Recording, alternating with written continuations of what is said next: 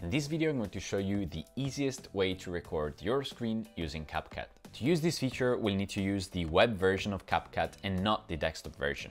Now, if you're using the desktop version, stick till the end for some tips. We'll start from CapCut's web version, then select Create New, and then 16 by 9. From inside the project, we're going to select Record, and then Record Entire Screen. From here, we can decide what we want to record, either the entire screen or a specific window. In this example, I'm going to select my text editor. Now let's make sure we select the right microphone, and then if we want to include it, also our webcam. And then when we are ready, we can click record. After the countdown, we can move back to our application and then change it. Hello, everyone. And then when we are finished, we can go back to CapCut and then click stop. We can now see a preview of our recording. If we are satisfied, we can click save and exit Otherwise, if we want to try it again, we can click Start Over. In this case, I'm going to click Save and Exit. Now we can edit our clip within the CapCut editor.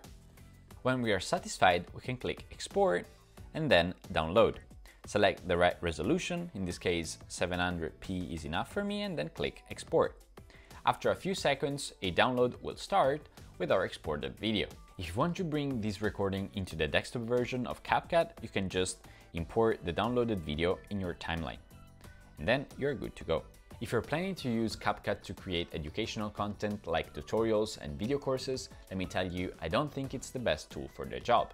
If you want to create educational content, my favorite tool is called Borumi. With Borumi, you can decide the structure of your video in the built-in editor, which is very similar to Notion and Google Docs. Then you can record every scene separately, retrying as many times as you want, this is very convenient because it allows you to split the recording into smaller chunks, which are much easier to manage.